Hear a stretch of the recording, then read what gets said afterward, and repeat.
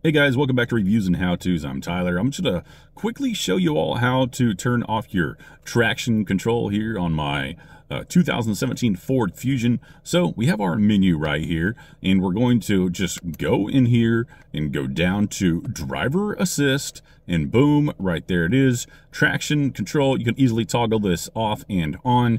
Uh, I had to find this and get it taken off because it is currently snowing here in Oklahoma and I could not get into my driveway. It has a pretty steep incline on it. So boom, turned this off and was able to give it just a little bit more power and get into my driveway. So hope this helps you all out and you can get into your driveway too or do whatever else you're wanting to do without traction control. Thanks for stopping by. Uh, if this helps you out, go ahead and hit the like button. Really helps out the channel. Have a great day, evening, night, morning, whatever. We'll see you guys next time here on Reviews and How-Tos.